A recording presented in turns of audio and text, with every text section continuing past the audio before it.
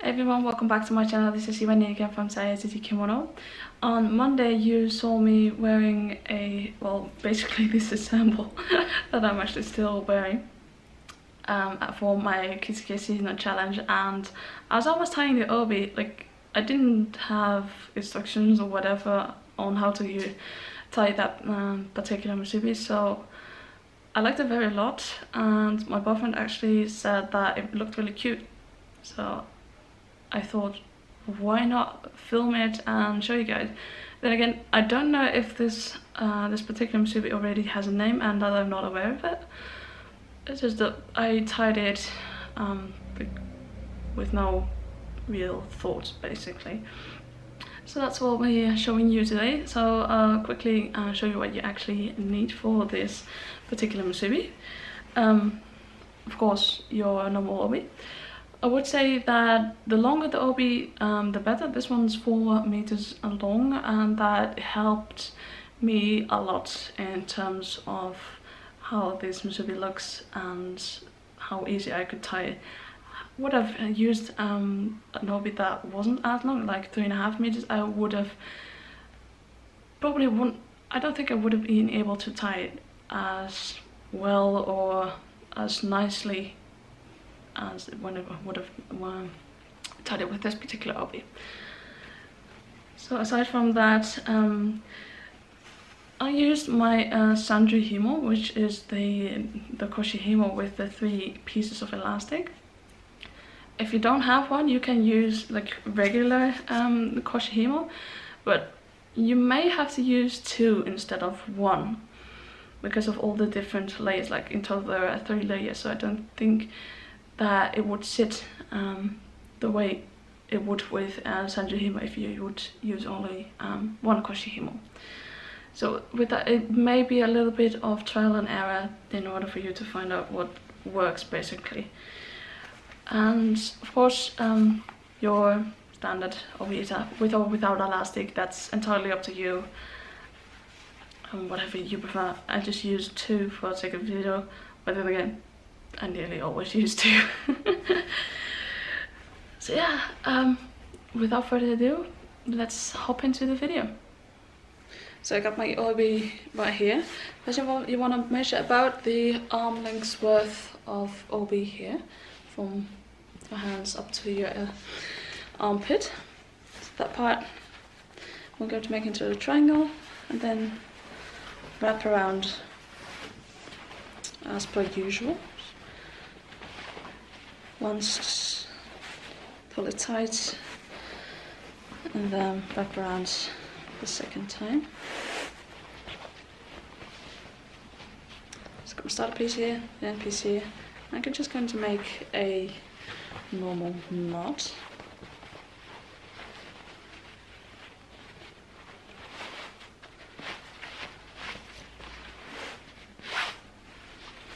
Just tighten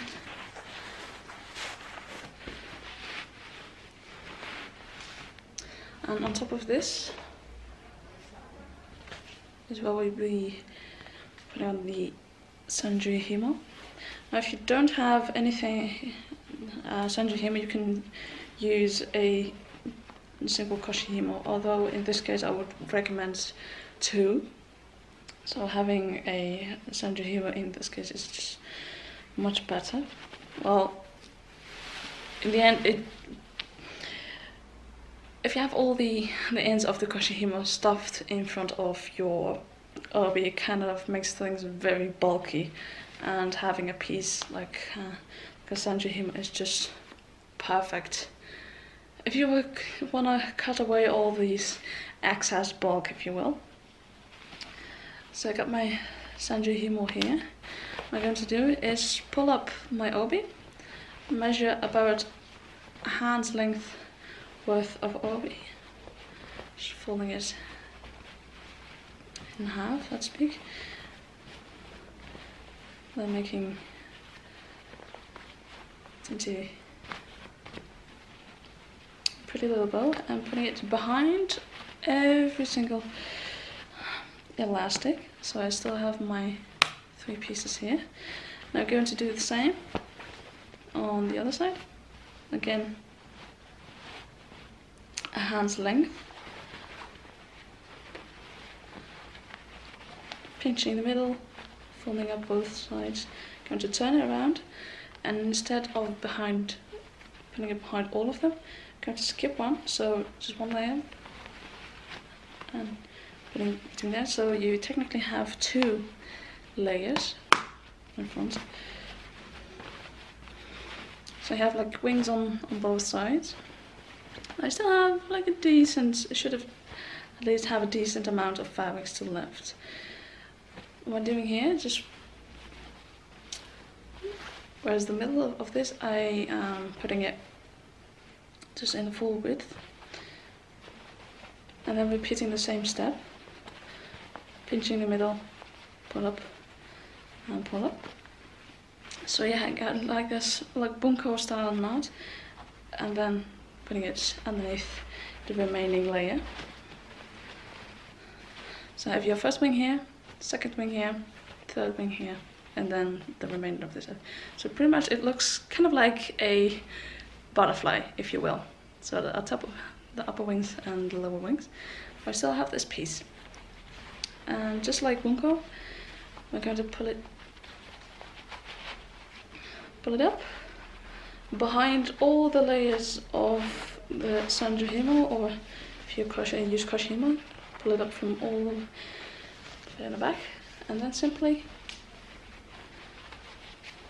put it around and pull it up again.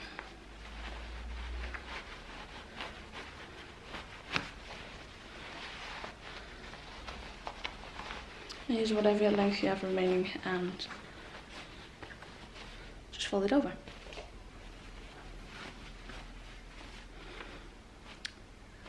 So if you want you can um, still neatly arrange all the flaps if you want to. Just going to use that. Maybe you want to fold it up or down, whatever. That's person just totally up to you. So now we're going to move it to the back. Good And you want to make sure that you put your thumb or fingers or whatever behind the koshi himo or the sanju himo. Otherwise the bow will end up somewhere over here and may or may not come undone. And that's not something that we really want. Just going to move it to the back. Just moving the koshi himo behind my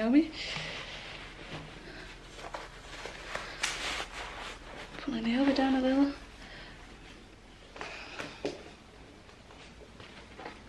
So if your obi musubi is not entirely in the middle of the back, you can always just move it around. Again, make sure that you have your thumb behind all the himo or your sanju himo. So lastly, I'm going to put in the obi ita. Now as you can see I already have the other one underneath but I'm just going to put in this one regardless.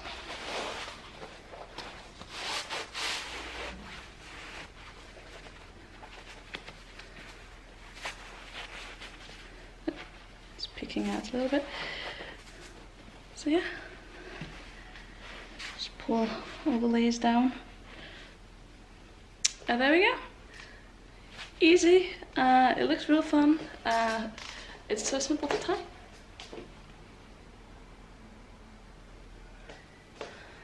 So with that I will let you guys go and hope I will see you next time. Bye everyone.